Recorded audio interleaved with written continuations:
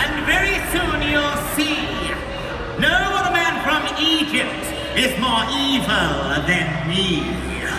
Once a famous rock star, the biggest in the land, but now an evil wizard with a ring upon my hand. They think I've gone forever,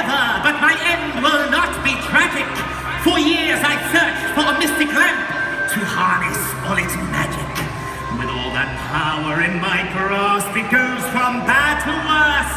As very soon I'll rule the world, I'll solve the universe. Her oh, magic ring, bring forth your slave to give the answers that I crave. Oh, Master, you have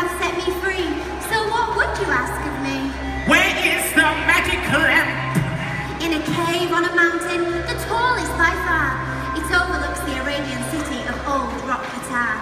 But as you are an evil man, if you should try to tread inside the cave to get the lamp, quite soon you will be dead.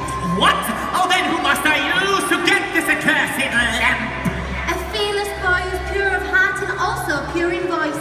Aladdin Twanky, a future star. He is your only choice. Living in the city with a widow, that's his mother. They run a failing laundrette with that is his brother. Enough! I must transport the